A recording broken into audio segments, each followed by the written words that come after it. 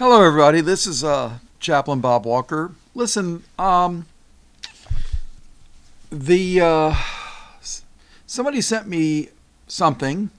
I had heard about it, but uh, some of the specifics of what I was sent, I was um unaware of. But mm, I'm usually keep on top of things news-wise.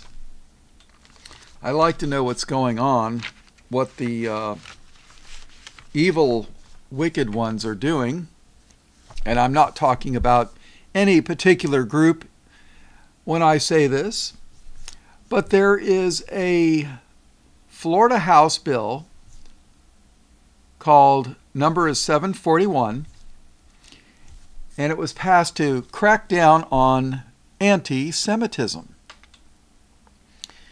And the intent of the bill, at least publicly, is to cut down on anti Semitism, make, making hate crime statute, and includes such acts as 1. Calling for aiding or justifying violence against Jews. Next, alleging myths about a world Jewish conspiracy or that Jews control the media, economy, government, or other institutions. Hmm. Joel Stein, a, uh, well, take a guess. He wrote an article for the LA Times where he said uh, he bragged about the accomplishment of Jews, him being one, about how they totally control Hollywood. I wonder if he's going to be charged with anti Semitism. Then the Times of Israel uh, had an article where they claim that Jews totally control Hollywood and the media. I wonder if I quote either one of those sources and agree with them, that I wonder if I'd be charged with anti Semitism. Hmm, I don't know. Next, accusing Jewish people as a whole of being responsible for real or imaginary wrongdoing by a single Jewish person, group, or the state of Israel, or for the acts of non Jews. Hmm. Accusing, next, accusing the Jewish people of inventing or exaggerating the Holocaust. Next, accusing Jewish citizens of countries other than Israel or being more loyal to Israel than their own nations. Next, demonizing, applying a double standard to, or delegitimizing the Israeli state. Now, the three uh, states with the largest Jewish populations in the United States is New York, California, and third is Florida, of which I live in South Florida. So I guess you some would say some would say uh, that I become uh, I live in the belly of the beast, so to speak. So I wonder how many of my videos are going to be in violation of this law. From what I understand, the House passed it, uh, the Senate passed it, and I guess it's sitting on the governor's desk waiting to be signed. I'm sure he'll be standing around with a bunch of rabbis um, eagerly awaiting signing this. Don't know if they're going to do it publicly or if they're going to do it quietly.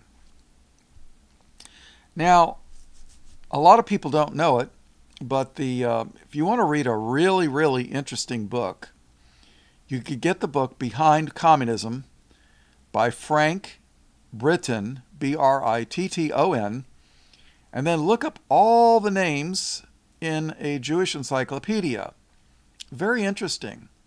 I wonder if the Jewish Encyclopedia is going to be charged with anti Semitism for um, listing all the people who claim to be of Jewish extraction who were involved in the communist revolution in Russia. And of course, millions of Christians were killed by the communist government. Do you know the first law passed by the communist government was anti Semitism laws? Matter of fact, if you were caught with a copy of the Protocols of Zion, uh, some say that they were executed on the spot. No trial, just executed. Now, I don't know if that's true. I wasn't alive in 1920s, but you know, that's what some people say. So, now what's up with giving uh, they just recently gave $38 billion to the Israeli state in a foreign aid package.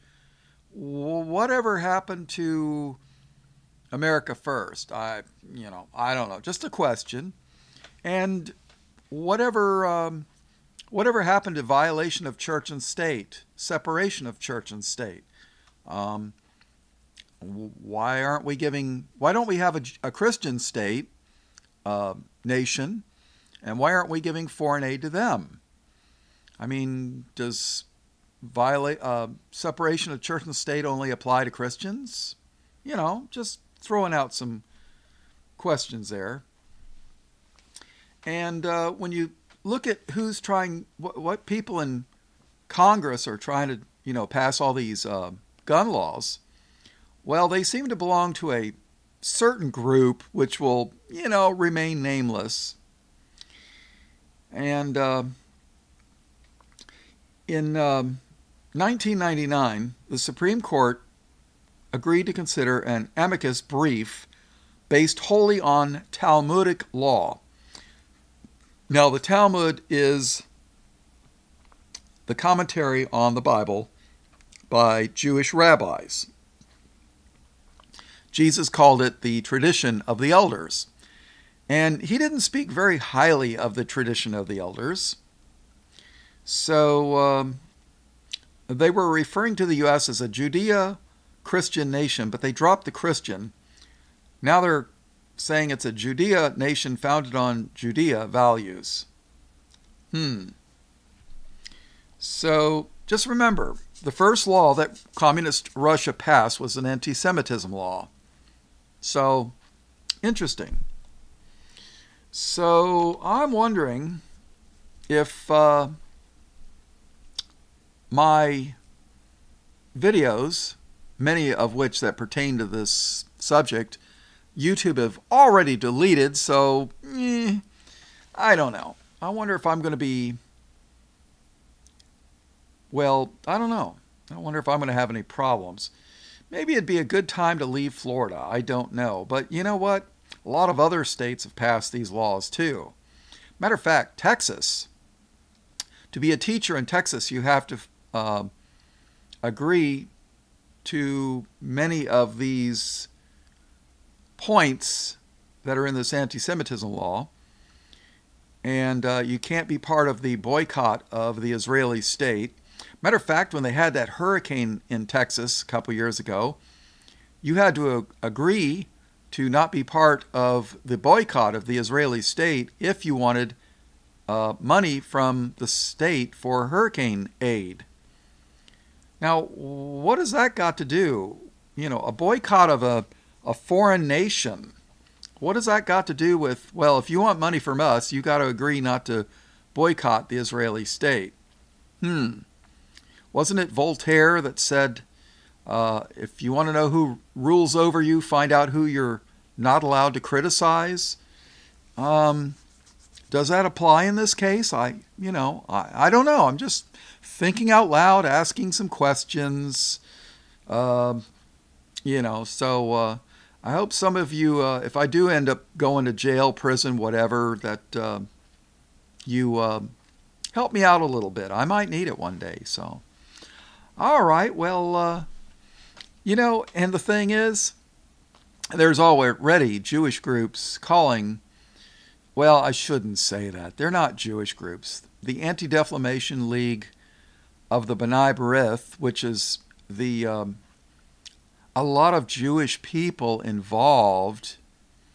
Um, they call themselves the sons of Jacob Israel. And, um, you know, I can't call it a Jewish group. It just happens to have a lot of uh, members who just happen to be Jewish, you know. But there's a lot of these groups uh, that claim that the New Testament, specifically Jesus, is uh, anti Semitism and the New Testament should be banned. I'm sure that's, um, you know, probably in the works somewhere down the line. Um, read Matthew 24 sometime. So, yeah, you might learn something. And I'm just uh, curious how many churches, so called, are um, going to probably go along with this. After all, got to keep that uh, those shekels coming. I mean, uh, dollars coming in for the tithes. Oh, slip of the tongue there. All right. Well, um, all blessings, praise, glory, and honor to Jesus, who uh, many people of the Jewish faith claim that Jesus was the most evil, vile anti Semite that ever lived. So, but you know, hey, whatever happened to the First Amendment to the Constitution, freedom of speech, right? I guess they're entitled to their opinion. And uh, personally, I think Jesus was entitled to his opinion. So, you know, that's what can I tell you? All right.